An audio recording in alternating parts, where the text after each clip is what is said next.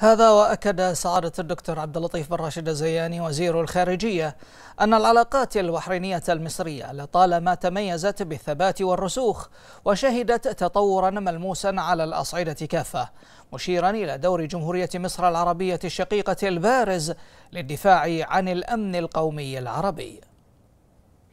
يسرني أن أتقدم بخالص التهاني إلى الحكومة والشعب المصري الشقيق وإلى الجالية المصرية الكريمة المقيمة في مملكة البحرين أخوتنا أعزاء.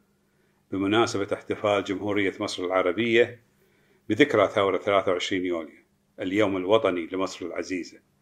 تأكيدا لما يربط بين بلدينا الشقيقين من وشائج متينة تضرب في أعماق التاريخ وعلاقات أخوة راسخة وتعاون وثيق بناء في مختلف المجالات والميادين.